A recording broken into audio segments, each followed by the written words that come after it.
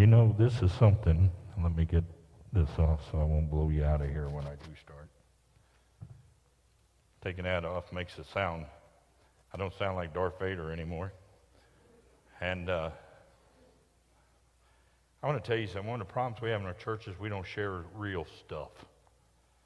One of the problems I've seen in my ministry is that people only show, share churchy stuff because they're afraid that somebody's going to think something bad about them.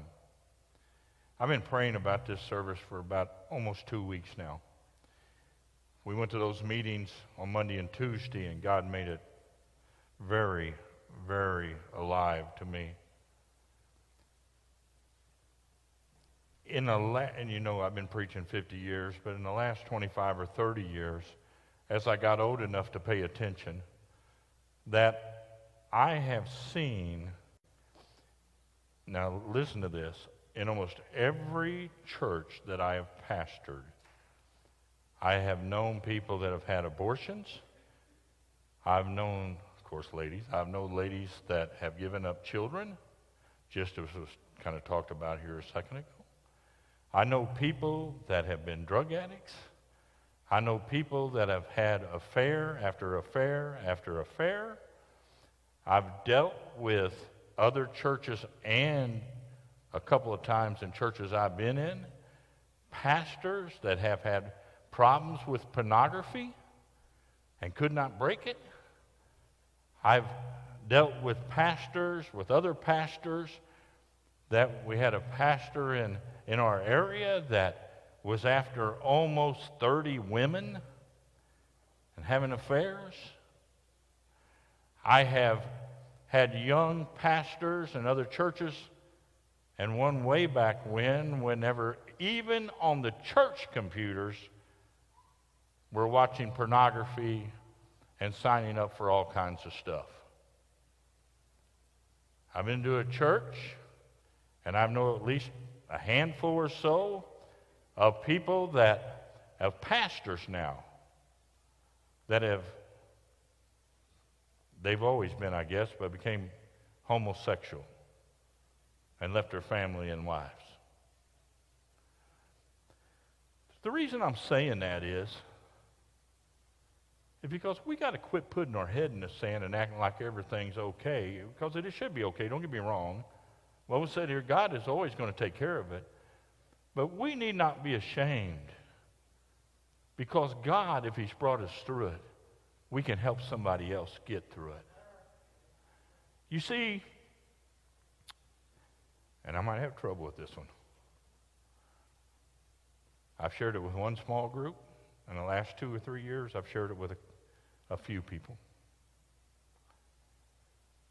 But here I was raised in a Christian home. I was saved at seven. I dedicated my life in the ministry at 14, started preaching at 15. But at the age of seven, for about four or five years or so, I don't even know how long anymore, until I got old enough to fight back.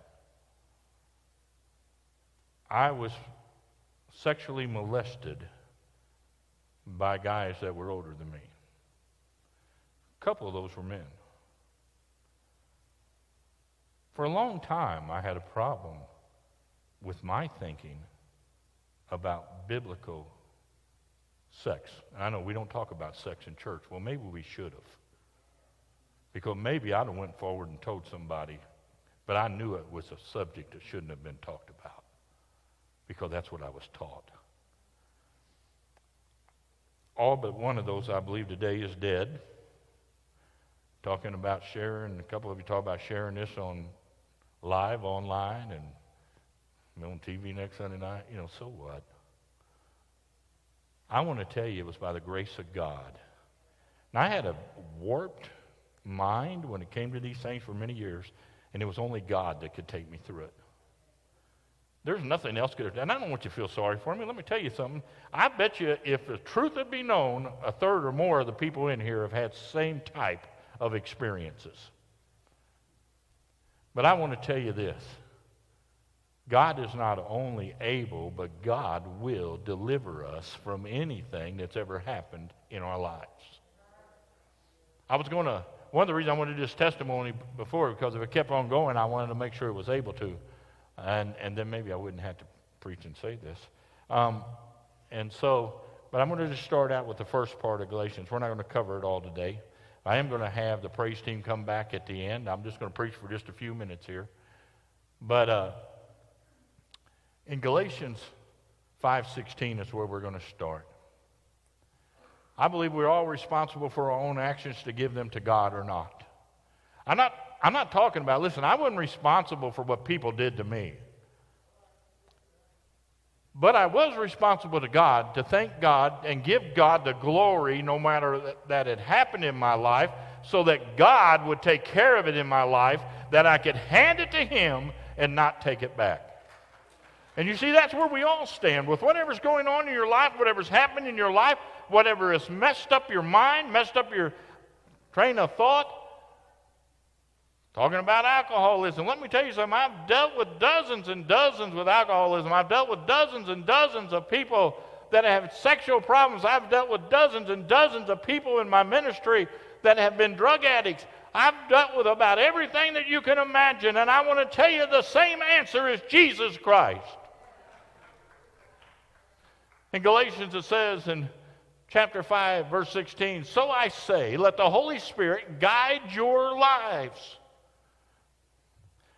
Here's the problem with churches we let other people guide our lives and not the Spirit of God.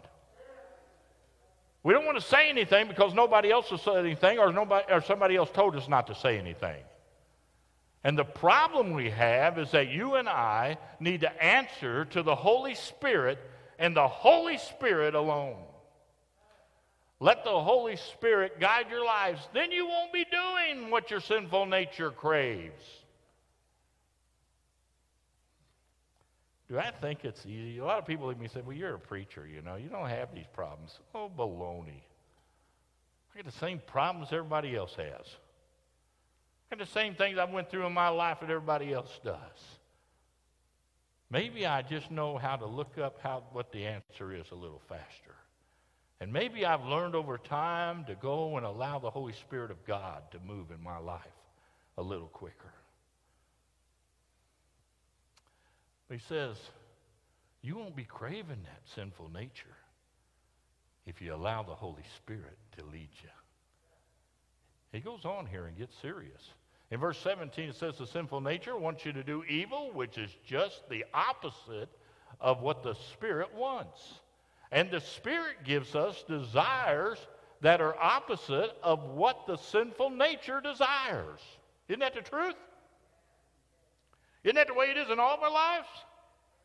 Paul, in one place in Romans, said, I do what I do, I do what I don't want to do, and I don't do what I should do, and I hit it's a do-do verses in the Bible. You know, we're all kind of all like that in things in our life. We? There's things that we haven't let go of. There's things that we hold on to. There's things that we keep going back to. There's sometimes it's even self pity that we keep wallowing in that pool of self pity that you and I have created and allowed to continue because we haven't given it over to God. You see, as we go on here, it says, and the Spirit gives us desires, as I already read, that are the opposite of what the sinful nature desires. These two forces, listen to this, are constantly fighting each other. So you are not free to carry out your good intentions. There's a war going on. Ephesians tells us about it. It's a spiritual war. There's a warfare going on. It's always going on, it never stops. There's always things that come and face you that you don't want to get involved in and you don't want to do, but somehow you're drawn to it. I want to give you this that the Holy Spirit's the only thing that'll keep us from that. And going back to the Holy Spirit of God, going back to the Word of God, allowing the Word of God to continue to change our hearts and lives, that is the only answer that you and I have. We go on. In verse 18 it says, But when you are directed by the Spirit, you are not under listen to this, obligation to the law of Moses. Now, this is simplified out a little bit. You and I are not obli- under obligation to the sinful nature. We're dead to that. We died to those trespasses and sins as a King James said, We died to all the old things we used to do, and now we should become alive in Jesus. Let's go on. When you follow the desires of your sinful nature, the results are very clear. Listen to this list. See if it doesn't apply. Think about your own life for a minute. I want to ask you to definitely think about the things that you haven't let go of. The results are very clear sexual immorality, impurity, lustful pleasures. We go on idolatry, serving everything but Almighty God, sorcery, hostility. Can you believe that? You know why a lot of churches fight all the time? Is because they're out of the will of God.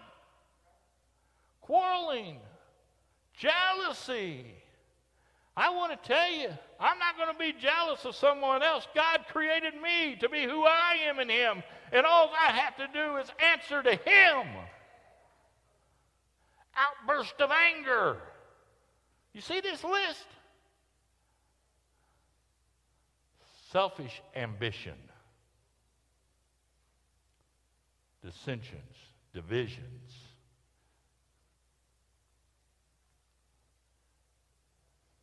Envy, drunkenness, wild parties. And most of us get right there and we go, Well, I'm not doing any wild parties, so I guess I'm all right. Listen, you idiot. Excuse me. You just missed everything else that has been said here. I know that's how it works because that's the way I work. I look at that and I say, oh, I'm not involved in that, so I guess I'm okay. No, dummy, you just went over 20 things you're not okay in. Listen, they all apply. Every bit of them apply. And if you and I want to be who God created us to be in Him, then you and I got to pay attention and listen to the Word of God and apply the Holy Spirit's in our life. He goes, and under sins like these, let me tell you again, as I have before, that everyone living that sort of life will not inherit the kingdom of God. Now, listen, all of us as Christians mess up. There's not a one of us in here that are perfect. We all mess up. We all do things we shouldn't do. We've all done things we shouldn't do. This is talking about continuing to live a lifestyle that is this lifestyle. And not allowing the Holy Spirit to get a hold of our lives and change us because God's word says his children, his sheep hear his voice. He tells us he was chasing us as children. And so if we have not allowed God to get control in those areas of our life, we may not know God and if we do not know God, we continue in these things, we continue in these things, you cannot be in heaven with Him. So we go on. And most of you know these, but the Holy Spirit produces a kind of fruit in our lives. This kind of fruit in our lives. Listen to this. Is this what people see when they see you and I? I'm not talking about just on Sunday morning in church. I'm talking when they see you late at night. I'm talking about when they see you out at other places. I'm talking about when they see you, when they've interrupted you. I'm talking about when they see you, no matter where you're at, 24 7. Do they see these? Love, joy, peace, patience, kindness, goodness, faithfulness. And guess what? It doesn't stop there gentleness, and self control. There is no law against these things. Some of us are letting Satan beat us down because of our past. Just a couple weeks ago, I preached about Paul said, I forget about the past and I press on to the mark. And I'll give you, I'll tell you the truth. The only way you can forget about the past is finally give it over to God and leave it at Jesus' feet. I'm going to ask Corey to come, and we're going to have a time of invitation. And then I'm going to still have the praise team. I know we're going a little late, and some of you are going to. Listen, there's not that many people in the restaurants, and not that many people going to the restaurants. Get over it. It'll be okay. I'm going to ask him just to play. If you need to come, I'd ask you just to come and kneel down here and pray. Do you need, you do need my Jesus if you don't have him. Would you come and receive him? Today I'm going to ask you that. I usually don't ask everybody to do this, but I'm going to ask everybody to stand. We're going to pray. Are you going to have the whole praise team come here in a second, Corey? Because we are going to let you go ahead. I'm going to ask you to come down and pray. The praise team wants to come up here. Go ahead. I'm going to ask everybody to bow your heads. Close your eyes because it's none of your business except between you and God. You don't have to say what's happening in your life because God knows it already. But if there's some things that you've had trouble giving over to God, would you just raise your hand? Nobody else looking around. Just raise your hand. Thank you. Thank you. Thank you. Thank you. Thank you. Thank you. Thank you. Thank you. All over the building. Thank you. I'm going to ask that God would help you just hand all those over to Him and take them right now. Then are there some of us here that, and this is a hard one, so everybody keep your heads bowed and your eyes closed. There's some here that said, you know, I'm just playing church. Well, I come, I know everything to do, everything to say, and how to look and how not to look. But I just need something new and fresh in my life.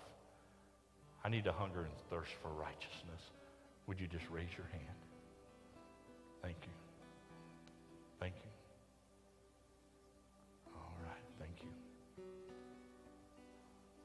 I'm going to pray and I'm going to ask you just to continue to come as God leads you to come. Heavenly Father, we need you more than anything else.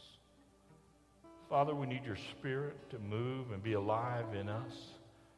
Father, there's homes here that need to be healed, and only you alone can do that. Father, there's lives here that are out of control with the things of this world, and only you, Lord, can take care of that. Oh, there's a battle going on. Father, show us in our lives that you are always victorious, and Satan's always a loser. And Father, you will deliver us if we come to you earnestly and ask you to, but then we got to quit going back to that same trough to eat out of and go to the things that you have for us that your Holy Spirit leads us to do. Father, I pray today that you would touch this church in a mighty way. Help us, Father, to become real and to love each other and to understand there's none of us that are better than anybody else. We are all children of yours saved by grace. Father, I pray for this time right now. Pray that you'd use it in a mighty way. And these things we ask in Jesus' precious and holy name. Amen. I'm going to ask you just to come forward as they're still going to sing today as the praise team sings. If you want to just come forward and pray, come forward to pray. If you need to rededicate that life, rededicate that life. Whatever you need to do, ask God to take care of it. Come as we sing today.